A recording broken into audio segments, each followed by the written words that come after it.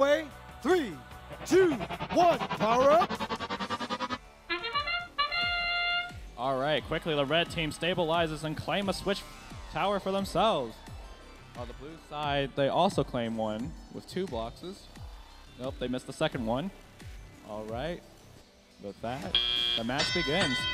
Gamers grab your controllers and set off. Team Laser with a block in their hands positions themselves towards the tower. Oh, swoosh gets it in. Tipping the scale, preventing 1625 from placing their block. Unfortunate timing right there. The Red Alliance 1732 with a block is going in, trying to place it into the scale. 1625 was successfully on the second attempt to place the block there. While at home, 4246 placed down a block into the exchange station. Oh, 1732 attempts to put a block into the tower, however, just slips in the midair.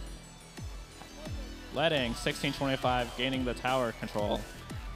3284 has been collecting cubes, placing on the enemy's uh, switch, preventing them from getting any points. However, in the meantime, 5326 is putting blocks into the exchange station to earn some power-up abilities.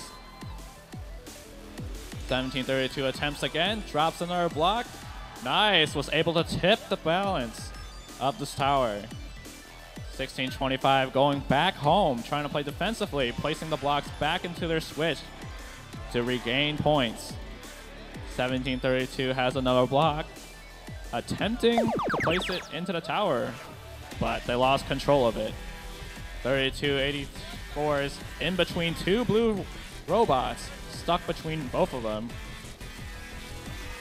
It might have to take the long way around. Whoa, nope, it sneaks by, returning black into the red side. With 30 seconds left, 3284 positions itself in the middle, while 1625 latches onto the, the bar is an attempt to climb it. 3284 releases its ramps. 1632 was able to climb successfully. Now the red team and all the other sides, seven seconds left, trying to get on the ramp. Will it do it? Oh, okay. That is game. We'll be right back with the tally points. All right, the final score is tallied up, and the red team was able to defeat the boss. The total score of 285 to 261, a very close match indeed.